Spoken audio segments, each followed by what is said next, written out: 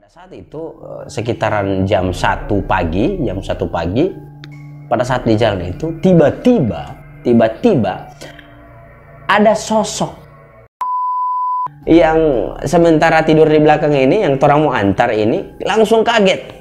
Wih, kenapa?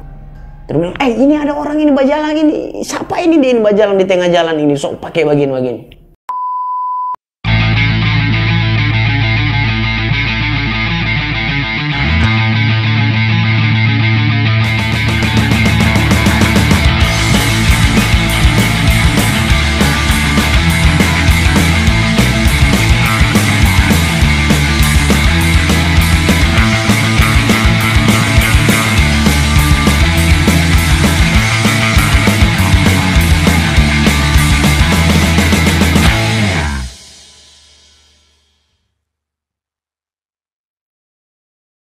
Oke everybody, selamat berjempa-jempa kembali di Gorapu Show dan hari ini Noko Prono Party yang agak sedikit mistis.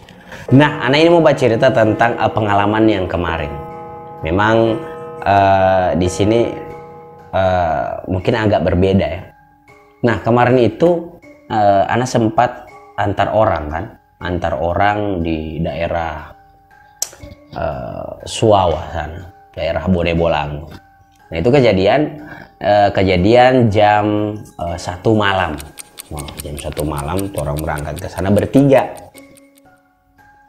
Nah eh, ini orang yang anak antar, ini orang yang torang antar di di sana ini eh, salah satu kru juga dari Gorapu dan eh, baru kali itu ini ini orang eh, baru orang baru ya orang baru gabung di di di Gorapu Uh, dan uh, berlaku sebagai kru. Jadi uh, pada saat itu memang uh, orang berniat untuk mengantar supaya orang tahu di mana dia punya uh, peninggalan. Eh maksudnya bukan peninggalan apa uh, tempat tinggal. Ah, bilang DP rumah kediamannya di mana.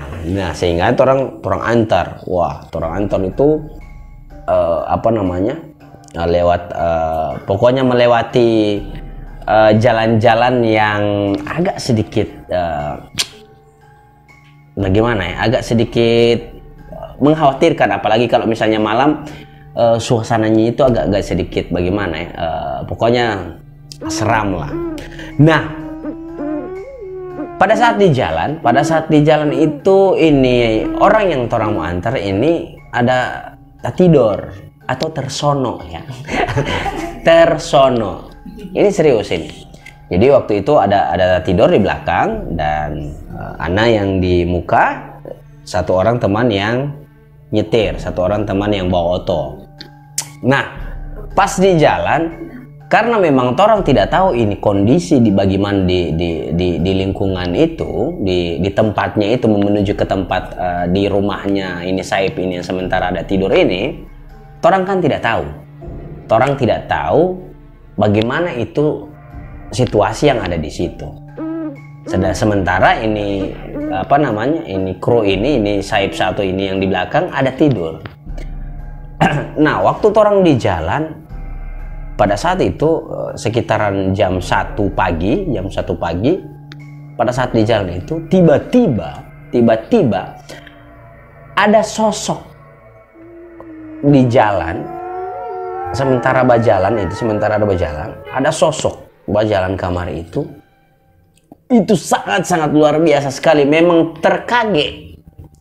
Ana dan ini yang eh, yang yang nyetir mobil ini yang bawa oto ini langsung kaget di situ. Karena apa? Karena memang ini sosok bajalan tengah malam pakai putih semua putih semua. Baru DP muka itu memang uh, putih juga dia pemuka. Ini putih semua ini. Dan dia punya apa namanya bibirnya itu memang merah kayak macam apa macam Dracula begitu. Sampai memang orang langsung shock. Pada saat itu uh, arahnya kan memang Trompe Oto ini mobil ini kan menuju ke sana. Menuju ke arah sana. Dan ini yang jalan ini menuju kemari jadi mau baku tabrak ke begitu pada saat itu memang langsung kondor gas. Orang langsung kaget wih siapa ini? Nah sosok itu ada bajalang. Bajalang kamari pakai putih. Pokoknya semuanya putih. Mukanya putih. Dan uh, bibirnya merah. Merah kayak Dracula begitu sampai sini. Merah. Dan itu sosok adalah perempuan.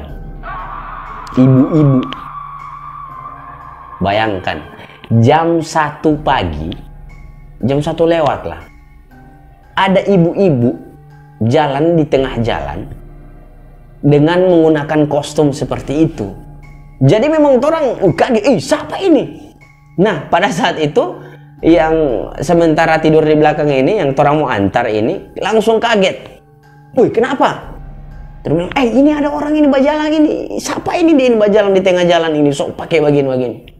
Dengan santai dia menjawab. Orang gila itu kak. Memang DP jam-jam keluar begini. Jadi itu ibu, itu ibu memang ada gangguan dalam uh, apa namanya? Memang ada gangguan kejiwaan dan biasanya biasanya ini ibu ini menggunakan uh, apa namanya uh, kostum itu mukena pakai mukena pakai bedak memang bedak tebal sekali. Dan dia punya lipstick itu memang dia apa namanya dia dia bikin sama dengan uh, Dracula. Jadi memang pada saat itu memang orang juga pusing orang juga kaget. Kenapa ini ada orang gila yang bajalang tengah malam pakai cipu pakai mukena terus dandannya seperti itu. Jadi orang ih apa dengan santai dia menjawab itu orang gila itu kak. Memang begitu DP jam-jam keluar begini tapi jangan begitu juga. Di dalam pikiran Pak kita tapi kalau misalnya kan mau gila bagila saja tapi jangan di jam-jam begini. Jangan di jam-jam begini Pak Artinya orang ada bajalang akan kalau misalnya uh, misalnya tabak kuda apa dengan papan curi dengan orang yang mau papan curi tidak tahu jadi bagaimana. Entah DP papan curi yang mau lari atau ini orang gila yang mau lari. Karena memang pada saat itu situasinya memang so, so larut malam, so jam satu pagi kan.